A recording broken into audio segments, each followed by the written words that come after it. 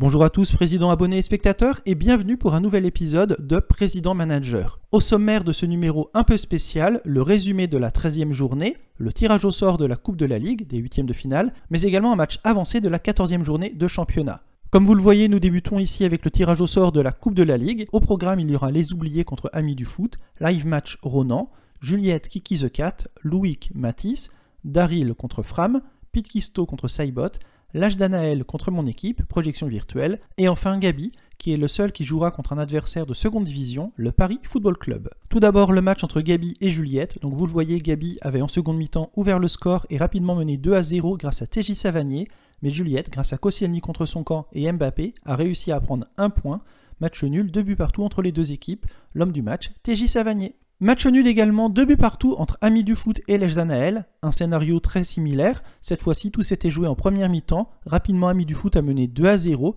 mais comme dans le match précédent, son adversaire ici, Lèche Danaël, a égalisé Gelson Martins et Mbappé, qui ont permis à Lèche Danaël de prendre un point. Match nul, deux buts partout. 2 buts à 1 cette fois-ci dans le match qui opposait Pete aux oubliés, Cardona et Blas contre un but de Mauro Icardi. Victoire logique de Pete Kisto, 2 buts à 1. 2 buts à 1 également pour mon équipe, projection virtuelle, face à Louic, doublé de Mbappé contre un but de Ben Yedder sur penalty, victoire importante dans ce choc de haut de tableau. Autre match et victoire de Ronan, 5 buts à 4. Un match spectaculaire que vous avez pu suivre en live sur la chaîne. Pour ceux qui souhaiteraient revoir ce match, il était vraiment intéressant à voir. Le replay est toujours disponible. Donc dans ce match, Ronan a mené 1-0, Matisse est revenu au score, 2-1 pour Ronan, Matisse est revenu à 2 partout, Ronan avait mené rapidement 5 buts à 2. À la 59e minute, c'était le cas grâce à Ludovic Blas. Et en toute fin de rencontre, Costil contre son camp 80e, Rafinha 82e sont ont permis à Matisse de revenir à 5 buts à 4. Matisse a espéré, mais non, victoire de Ronan 5 buts à 4. Autre victoire, mais cette fois-ci moins spectaculaire, celle de Keno face à Promeno de la semaine sur le score de 2 à 0. Donc victoire qui est due à Savanier et Ben Yedder et un mauvais match en face de Keylor Navas pour Prono de la semaine. Dans le match suivant, victoire logique de Quintin 3-0 face à Saibot. Vous voyez Quintin a dominé la rencontre, un grand Khalifa Koulibaly, victoire 3-0. Dans le match qui opposait Daryl à Willy, vous le voyez, c'est tout d'abord l'équipe de Willy qui va ouvrir le score. Donc vous pouvez voir les images. Willy évolue en noir. Youssef Attal a le ballon, il frappe, il trompe le portier de Daryl. 1-0 grâce à Youssef Attal. Dix minutes plus tard, l'équipe de Willy va marquer un second but. Vous voyez Ben perd le ballon, le Mbappé le récupère, il peut remettre sur Ben qui ajuste le portier. 2 buts à 0 à la 59e minute.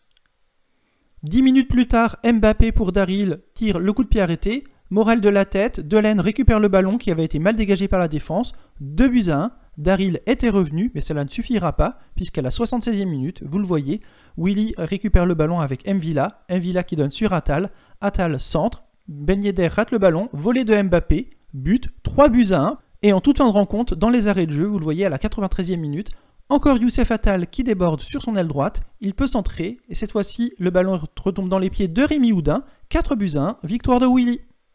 Vous voyez sur la feuille de match, la victoire de Willy était méritée. Tous ses joueurs ont terminé dans le vert, tandis que du côté de Daryl, match compliqué, période compliquée. Dans le duel des extrêmes, Kiki a perdu face au leader Fram Football. Vous le voyez, victoire logique, but de Golovin et de Kazri, 2 à 0.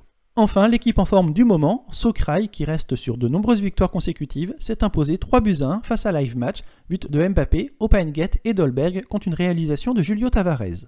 Le classement à l'issue de la 13e journée est celui-ci. Fram Football est en tête avec 30 points, 2 points d'avance sur mon équipe, projection virtuelle. Vient ensuite Louic, 26 points, Ronan, 25 et Saibot, 23. Donc vous voyez, tout va très vite. À noter la très très belle série de Sokrai qui reste sur 5 victoires consécutives et qui lui a permis de remonter de la dernière place à la 10e place à seulement un point de la 6 position occupée actuellement par Lèche Danaël. 13 journées, nous sommes à peu près au tiers du championnat. Je vous propose de regarder ensemble quelques stats. Alors du côté du classement débuteur, vous le voyez au niveau du classement débuteur, eh bien c'est Mbappé qui est en tête, celui de Matisse. Et sinon, si on prend les individualités, nous avons des Mbappé, Ben Yedder qui est là plusieurs fois, Neymar du côté de Ronan, et vous avez également Icardi des oubliés, et un Waib Kazri, celui de Matisse. Donc peu de diversité. Hein. Donc c'est Mbappé devant Ben Yedder, Neymar, Tovin, Icardi et Kazri du côté du classement des buteurs. Au niveau de la note moyenne, classement qui est très intéressant là encore, et vous pouvez le voir, c'est le Mbappé meilleur buteur chez Matisse qui a la meilleure note moyenne, 7,93. Ensuite c'est Neymar, Donc oui, Neymar et Mbappé se partagent les meilleures notes. Tovin également, Ben Yedder. Ah, on a également un peu de diversité avec la présence de Gelson Martins, celui de Lejdanael, mais également Iconé et Golovin de Fram Football. Autre stat très intéressante, celle des gardiens. Quel est le gardien qui a gardé le plus souvent sa cage inviolée? Eh bien c'est Kaylor Navas, le gardien de prono de la semaine, qui est en tête avec 5 matchs durant lesquels il a gardé 5 cages inviolées en 13 matchs. Suit ensuite Ruffier avec 4 clean sheets. Et ensuite vous avez de nombreux gardiens à 3 clean sheets. Homelin pour les oublier, Ruffier, Farinez, Gabi Banoun et Keno, et également Mandanda pour mon équipe. Après avoir vu ces stats, je vous propose de voir le calendrier de la prochaine journée, et vous voyez que le premier match opposera Matisse à Daril, vous aurez ensuite Saibot à Ami du Foot, vous découvrez la suite des matchs du samedi, les oubliés Socraï, Live Match Keno, Louis Cronan, Prono la semaine Kiki the Cat, Willy Pete Kisto, et enfin le dimanche, Fram Quintin, Lèche Danaël Gabi et Juliette contre mon équipe. Après avoir vu toutes ces infos sur la 13e journée, nous allons passer à la 14e journée.